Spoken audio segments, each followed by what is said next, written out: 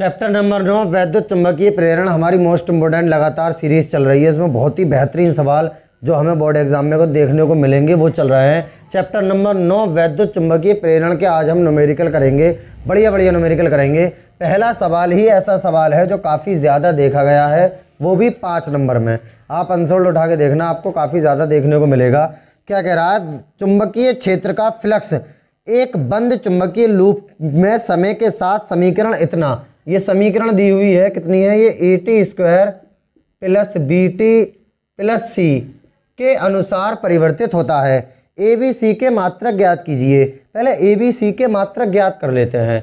A B C के मात्रक ज्ञात कीजिए तो पहला पोर्शन है ए बी सी के मात्रक। मात्रक ज्ञात करने के लिए फ़र्स्ट ईयर क्लास इलेवेंथ में समांगता का नियम होता है। क्या?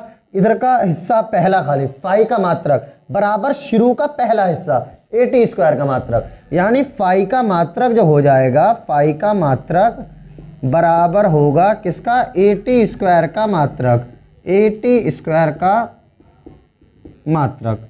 अब यहाँ हमें जगह पर मान रख देंगे और ए का मात्रक हमें ज्ञात करना है। ए बी सी तो एक काम करते हैं। ए का मात्रक, इसे एक तरफ़ लिख लेते हैं। यानी ए का मात्रक बराबर। अब जो ए के बाजू वाला है, वो नीचे आ जाएगा। ए के बाजू में कौन है? टी स्क्वायर टी स्क्वायर नीचे आ जाएगा किसके? फाई के। यानी ये हो जाएगा फाई का मात्रक बटा टी स्क्वायर का मात्रक। फाई का मात्रक बटा टी स्क्वायर का मात्रक। तो ए का मात्रक बराबर हो जाएगा, ए का मात्रक बराबर। फाई का मात्रक कितना होता है? हम जानते हैं, वेबर होता है। बटे का निशान है, बटा, टी क्या चीज़ है? टी है समय। समय का मात्रक क्या होता है? सेकंड होता है। यानी ये हो जाएगा सेकंड और ऊपर स्क्वायर है तो स्क्वायर लगा देंगे। यानी ए का मात्रक किसके बराबर आ जाएगा? वेबर प्रति सेकंड स्क्वायर अब बी का मात्रक जब ज्ञात करेंगे तो ये वाला पोर्शन दूसरे वाले के बराबर रख देंगे, सिर्फ़ दूसरे वाले के। समानता का नियम होता है ये। तो कितना हो जाएगा? फाई का मात्रक जो हो जाएगा फाई का मात्रक बराबर किसका? बी टी का मात्रक। बी टी का मात्रक। अब हमें काय का मात्रक ज्ञात करना है? यहाँ से बी का। तो हम बी के मात्रक शब्द को एक तरफ़ लिख लेंगे और ये टी का मात्रक फाई के मात्रक के नीचे पहुँच जाएगा। यानी ये हो जाएगा बी का मात्रक बराबर किसका? फाई का मात्रक बटा स्मॉल टी का मात्रक। फाई का मात्रक बटा स्मॉल टी का मात्रक। अब यहाँ पर जगह पर मान रख देंगे, जो जगह पर मात्रक है वो, ये तो ऐसे रहने देंगे बी का मात्रक, ये तो हमें ज्ञात करना है, बराबर। बी का मात्रक बराबर। अब फाई का मात्रक कितना होता है? फाई का मात्रक फाई है चुंबकीय फ्लक्स, इसका मात्रक होता है वेबर वेबर प्रति। बटे का मतलब प्रति, यानी ऐसा वाला निशान टी का मात्रक टी क्या है? समय समय का मात्रक होता है सेकंड यानी बी का मात्रक आ जाएगा वेबर प्रति सेकंड अब सी का मात्रक भी ज्ञात करेंगे तो पहला वाला पोर्शन अब लास्ट वाले के बराबर रख देंगे। इसका मीन्स हो गया फाई का मात्रक जो हो जाएगा फाई का मात्रक बराबर किसका? सी का मात्रक। फाई का मात्रक बराबर सी का मात्रक। फाई का मात्रक बराबर सी का मात्रक। अब सी का मात्रक हमें ज्ञात करना है, इसे पहले लिख लेते हैं। सी का मात्रक बराबर किसके बराबर हो जाएगा? सीधा फाई की मात्रक क्या? फाई का मात्रक क्या होता है? फाई का मात्रक होता है वेबर। यानी कितना हो जाएगा? वेबर एक उत्तर हमारा ये निकल के आ जाएगा। हमने ए का मात्रक निकाल लिया, हमने बी का मात्रक निकाल लिया, हमने सी का मात्रक निकाल लिया। तो पहला पोर्शन सवाल यही कह रहा था कि इनके मात्रक ज्ञात करो। अब दूसरा पोर्शन सवाल क्या कह रहा है? वो और पढ़ लेते हैं, इसका आप स्क्रीन ले लीजिए। दूसरा वाला पोर्शन क्या कह रहा है सवाल? उसे भी कर लेते हैं दूसरे वाला पोर्शन क्योंकि पाँच नंबर का ये सवाल देखा जाता है। दूसरा पोर्शन कह रहा है क्या कह रहा है? यदि ए बराबर ज़ीरो पॉइंट तीन, यानी ए का मान ज़ीरो पॉइंट तीन हमें दिया हुआ है, कॉमा बी बराबर ज़ीरो पॉइंट छः इसका मीन्स बी का मान ज़ीरो पॉइंट छः दिया हुआ है, तथा सी बराबर ज़ीरो पॉइंट आठ। ज़ीरो पॉइंट आठ।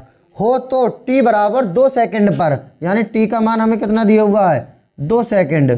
टी बराबर दो सेकंड पर विद्युत प्रेरित विद्युत वाहक बल की गणना कीजिए। प्रेरित विद्युत वाहक बल किसे कहा जाता है? प्रेरित विद्युत वाहक बल कहा जाता है ई को।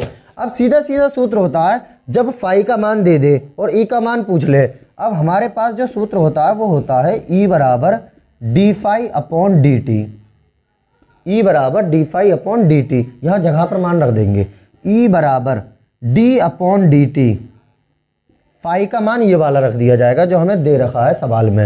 A T square plus B T plus C अब इस डी अपॉन डी का मतलब होता है अवकलन डिफरेंशियल किसके रेस्पेक्ट टी के रेस्पेक्ट अब इसका जब डिफरेंशियल करा जाता है तो ये घात नीचे आ जाती है और घात में से घट जाता है। तो दो नीचे आ जाएगा। ये फॉर्मूला होता है डी अपॉन डी टी अगर हम टी की पावर एन का करते हैं एन का टी की पावर एन तो एन टी की power N minus one. Means ये घात नीचे आ जाती है, घात में से एक घट जाता है। यानी हम इसे अगर लिखेंगे डी अपॉन डी टी हटा देंगे, इसका मतलब होता है डिफरेंशियल टू ऐसी ये ए ऐसी ही। अब ये घात नीचे आ गए टू नीचे आ जाएगा। और घात में से एक घट जाएगा, यानी दो माइनस एक इस सूत्र के हिसाब से। प्लस, अब ये बी ऐसी रहने देंगे, और टी का कितना हो जाएगा? टी का बन हो जाता है सीधा, बिल्कुल। टी का डिफरेंशियल बन हो जाता है और प्लस सी आ गया। सी का डिफरेंशियल कितना होगा? ज़ीरो किसी भी कांस्टेंट क्योंकि सी क्या है? सी कांस्टेंट है। किसी भी कांस्टेंट चीज़ का डिफरेंशियल ज़ीरो होता है। तो ई e बराबर हो जाएगा two A T plus B अब यहाँ पर जो हमें मान गिवन है, वो हम रख देते हैं। वही हमारा उत्तर आ जाएगा। ये दो ऐसी। कोई सा निशान नहीं बीच में तो गुणा का निशान। अब आ गया ए ए कितना है? ज़ीरो पॉइंट तीन। कोई सा निशान नहीं, फिर गुणा का निशान। अब आ गया टी टी कितना है? दो। प्लस अब क्या आ गया? बी बी कितना है? ज़ीरो पॉइंट छः इनकी गुणा कर लेते हैं ई e बराबर दो तिया छः छः दूनी बारह। एक के बाद पॉइंट लगा देंगे, यानी वन पॉइंट टू दो तिया छः छः दूनी बारह, एक के बाद पॉइंट लगा दिया वन पॉइंट टू और प्लस ज़ीरो पॉइंट छः इन्हें जोड़ लेते हैं ई e बराबर आ गया वन पॉइंट एट बोल्ट का, क्या होता है प्रेरित विद्युत वाहक बल बोल्ट यही हमारा उत्तर निकल कर आ जाएगा। इसी तरह के जो दूसरा सवाल है वो भी कर लेते हैं, वो भी काफ़ी ज़्यादा पूछा जाता है। दूसरा सवाल, जो कि बहुत ही अच्छा सवाल है, एक प्रेरक में प्रवाहित धारा। धारा यानी आई का मान हमें दिया हुआ है। कितना दिया हुआ है? आई का मान दो प्लस पाँच टी दो प्लस पाँच टी आगे क्या कह रहा है? द्वारा व्यक्त की जाती है। यानी कोई धारा है, वो आई बराबर इस समीकरण द्वारा व्यक्त की जाती है। आई एम्पियर तथा टी सेकंड में है। यहाँ पर जो आई है, वो एम्पियर में है और टी है सेकंड में है। इसमें स्व प्रेरित विद्युत वाहक बल 10 मिली वोल्ट है। यानी प्रेरित विद्युत वाहक बल ई का मान है 10 मिली वोल्ट 10 मिली वोल्ट अब मिली वोल्ट जो है, इसे मिली शब्द को हटा देंगे और मिली शब्द को हटाने के लिए 10 की घात माइनस तीन से गुणा कर देंगे, ये बोल्ट बन जाएगा। यानी 10 गुणा दस की घात माइनस तीन बोल्ट। आगे क्या कह रहा है? तो ज्ञात कीजिए, नंबर एक स्व प्रेरण गुणांक। स्व प्रेरण गुणांक। स्व प्रेरण गुणांक। किसे कहा जाता है? स्व प्रेरण गुणांक कहा जाता है एल को, यानी एल का मान हमें ज्ञात करना है। अब ऐसा सूत्र लगाया जाएगा जिसमें ई आता हो आई आता हो और एल आता हो। अब सूत्र जो होता है, बहुत ध्यान से समझने की बात है। ये सूत्र जो होता है, वो ई बराबर L D I upon D T ये होता है।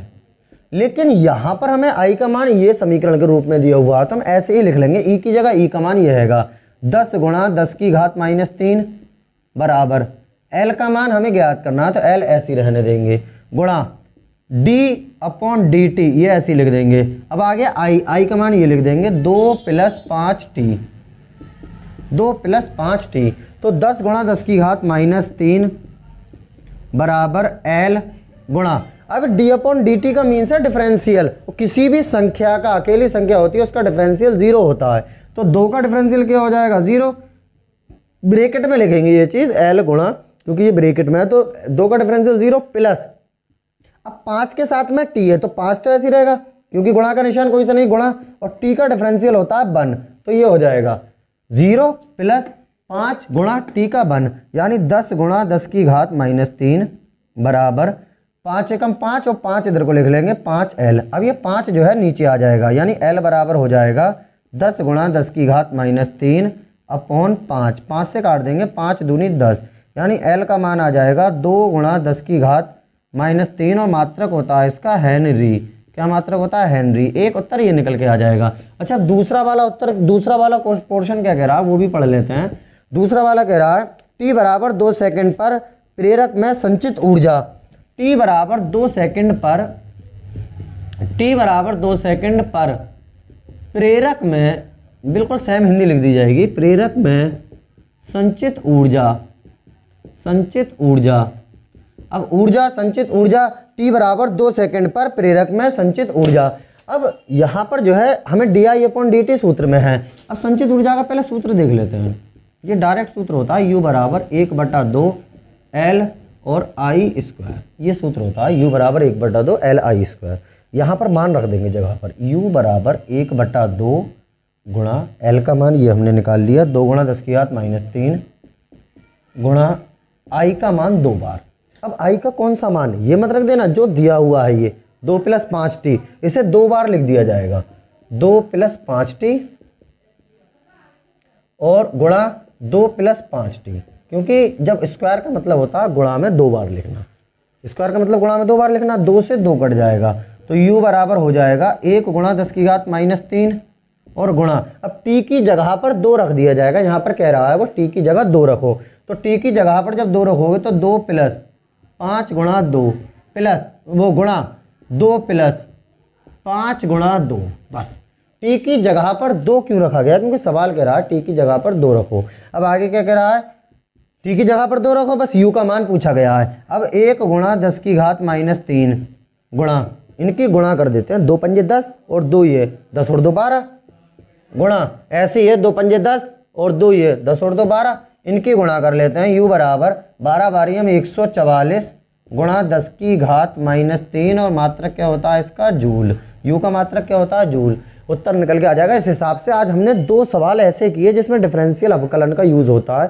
काफ़ी ज़्यादा पाँच पाँच नंबर में पूछे जाते हैं। आज के लिए इतना ही रहने देते हैं। बाकी मोस्ट इम्पोर्टेंट सवाल नेक्स्ट वीडियो के साथ मिलेंगे।